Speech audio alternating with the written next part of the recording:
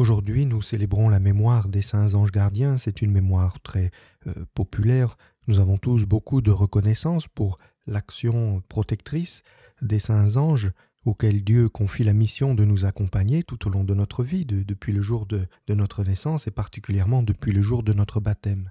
Mais je voudrais insister ce matin sur un point qui me touche beaucoup. Les anges sont auprès de Dieu pour admirer sa gloire, mais ils sont auprès des hommes pour faire connaître la volonté de Dieu. Les anges sont ceux qui nous enseignent.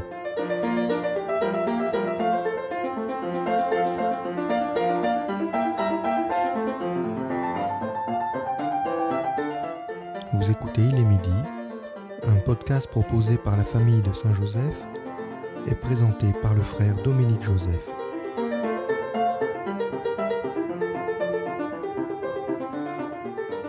Dieu a créé les anges dans le but principal de glorifier la Sainte Trinité.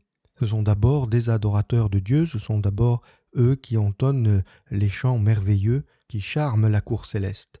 Mais leur mission inclut le service de Dieu en tant que euh, témoin de l'amour de Dieu auprès des hommes.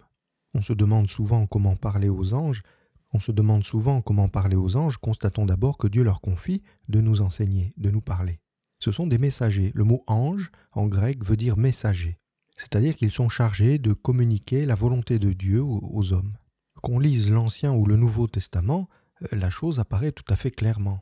Dans l'Ancien Testament, par exemple, les anges ont été les messagers de Dieu auprès des Israélites. En fait, on pourrait presque dire qu'il y a deux sortes de prophètes dans l'Ancien Testament. Il y a les prophètes angéliques, les anges prophètes, qui venaient directement de Dieu pour éclairer les hommes, et il y avait les prophètes humains, les hommes qui prophétisaient pour transmettre les, messages divins. Il y a une grande proximité entre la mission prophétique et, la mission de messager. Et dans le Nouveau Testament, c'est pas un hasard si un ange est apparu à Zacharie pour annoncer que Élisabeth, son épouse, qui était stérile, allait concevoir un fils. De même, c'est un ange, le même d'ailleurs, qui est envoyé par Dieu à la Sainte Vierge pour lui annoncer qu'elle allait concevoir et porter le Fils du Très-Haut. Et puis on a les anges dans la nuit de Noël, qui sont les premiers messagers du Père pour annoncer la naissance de son Fils. Les anges de, Bethléem sont, je crois, l'exultation de la paternité de Dieu.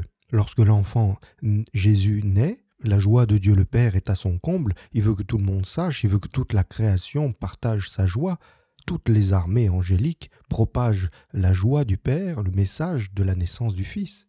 Les anges nous disent la joie de Dieu. Et d'une manière générale, ce sont les anges qui nous disent ce que nous devons croire. Les anges expliquent aux hommes le contenu de la foi et la manière de vivre cette foi, pas seulement avant Jésus. Ce sont les anges qui nous disent que la vie éternelle, c'est de croire en Jésus-Christ, l'envoyé du Père. Ce sont les anges qui nous enseignent que nous avons une liberté pour choisir ce que Dieu veut plutôt que nos propres désirs. Ce sont les anges qui nous disent que nous serons en paix si nous sommes des hommes de bonne volonté, si nous sommes des hommes qui se conforment à la volonté du Créateur. Ce sont les anges qui, le jeudi de l'ascension, enseignent aux hommes que le Christ reviendra dans la gloire pour nous amener à, les rejoindre dans la cour céleste, dans l'éternité bienheureuse pour laquelle nous avons été créés. Et quand on regarde les débuts de l'Église, les actes des apôtres, les lettres de Saint Paul, on pourrait facilement retracer, décrire l'histoire de la communication angélique, où les anges continuent d'enseigner et continuent d'être les gardiens qu'on pense à Saint Pierre qui est libéré de prison par un ange. Le point culminant est, sans doute le mystère de la résurrection, la résurrection qui au cœur de notre foi est enseignée par les anges. Les anges sont là, dans le tombeau vide, et disent Celui que vous cherchez est ressuscité, il n'est pas ici, il est ressuscité et ils expliquent ce qu'il faut faire. Euh, retourner en Galilée, et c'est là-bas qui vous attend. C'est les anges qui le disent. Au point que quand on rassemble tous ces événements, et, je ne fais qu'y faire allusion, ils sont, ils sont nombreux et importants, on pourrait dire que notre bonheur sur la terre et notre destin après la mort dépendent de notre compréhension, de notre accueil du message des anges, du rôle des anges. Ils sont réellement nos maîtres et nos guides dans la vie spirituelle. C'est eux qui nous enseignent de la part de Dieu.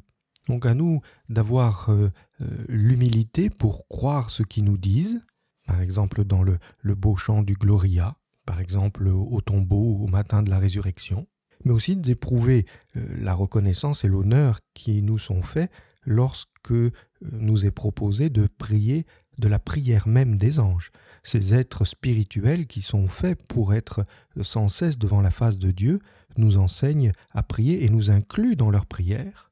Pour le plus évident et le plus simple, nous entrons dans le mois du rosaire. Pensez à la salutation de l'ange Gabriel à la Vierge Marie. Ce sont les paroles angéliques que nous prononçons lorsque nous disons notre chapelet. Alors aujourd'hui, au moins, prenons le temps de remercier nos anges, ceux qui nous gardent, ceux qui nous enseignent, ceux qui nous éduquent, ceux qui nous guident sur les chemins de l'Évangile. Remercions-les et tâchons de mettre en pratique tout ce qu'ils nous ont enseigné.